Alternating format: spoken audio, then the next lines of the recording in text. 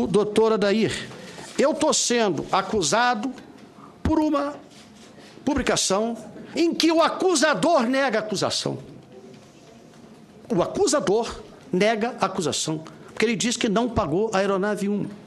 O que, que aconteceu? Aqui está o roteiro da viagem. Eu, quinta-feira, isso já está no site, já foi distribuído, eu saí num voo de uma companhia aérea às 8h15, 8h30, para o Maranhão, acompanhado de dois assessores da época, o Everton e o Fábio Bosch, que estavam comigo. Chegamos, faz uma escala Imperatriz, para uma meia hora e depois vai para São Luís do Maranhão. Chegando em São Luís do Maranhão, os copeiros me receberam, fui para o hotel, dormi, e no dia seguinte, o que, que nós fizemos? Aqui está o roteiro.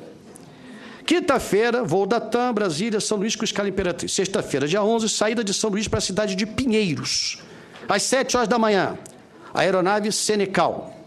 Retorno de Pinheiros para São Luís às 10 horas. Em seguida, foi feito o deslocamento terrestre para a cidade de Santa Rita e Catu, retornando para São Luís no final da tarde, cumprindo uma agenda com o prefeito do PSTB, João Castelo. Ele está aí, é só perguntar.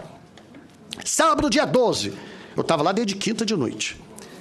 Saída de São Luís para Imperatriz, por volta das sete da manhã.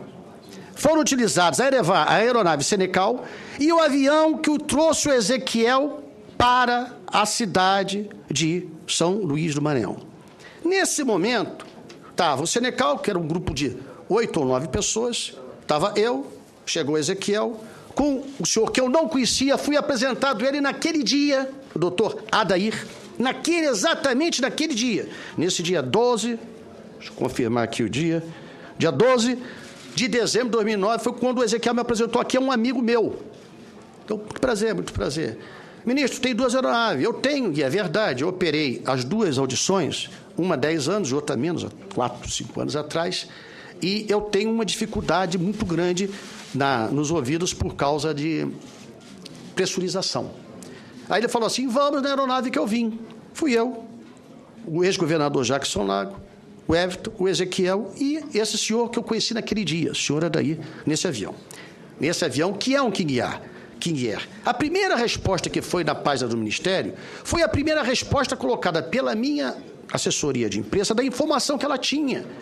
Nós, sábado, meio-dia, não tínhamos como nem localizar as pessoas, nem ter essas informações. Bom, aí fiz um roteiro com esse avião King Air, com o seguinte roteiro. Fizemos uma agenda com a Prefeitura de Imperatriz, também é no estado pelo PSDB, o prefeito Sebastião Madeira, está aí. Depois fomos para a cidade de Açailândia, que foi de carro, também administrada pelo PSDB, está aí, é só perguntar. Idelmar Gonçalves. De lá, fomos para a cidade de Grajaú, terra natal do amigo Ezequiel, onde tinha uma formatura de qualificação profissional. E foi lá visitar, fui lá visitar para prestigiá-lo, junto com o Jackson, que estava no momento difícil, tinha acabado de ser caçado. Calma. De lá voando para a cidade de Grajaú, que é administrada pelo DEM, através do prefeito Arruda. É só perguntar, está aí. Onde o senhor participou da formatura do Projovem Trabalhador.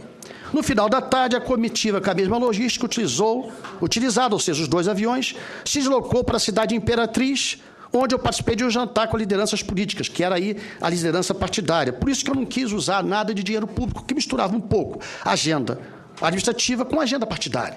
Para não confundir, para não ter mais problemas, eu disse assim: vamos utilizar a estrutura que vocês conseguirem para mim. E foi o que aconteceu. No domingo, saímos de Imperatriz. O senhor, a instituição que a revista acusa de ter pago a aeronave, diz que não pagou. Publicamente, no Jornal Nacional, no jornal. Eu quero saber do que eu sou sendo acusado. Ou será que não é racional imaginar de que se eu tivesse alguma aeronave para me levar, eu preferiria que ela me levasse na. Tudo bem, senador? Tudo ótimo. Numa aeronave que era essa, direto, em vez de eu ficar três, quatro horas fazendo escala Imperatriz para chegar no dia seguinte em São Luís. Então, quem tem que explicar o pagamento dessa aeronave não sou eu. Eu fui de carona do Ezequiel. Como ele pagou, de que maneira ele pagou, compete a companhia aérea falar e compete o Ezequiel falar. Eu não sei. Eu não tenho obrigação de saber. Eu não pedi aeronave, eu não solicitei aeronave. E, pela informação pública dada pelo senhor Daí, ele não pagou a aeronave.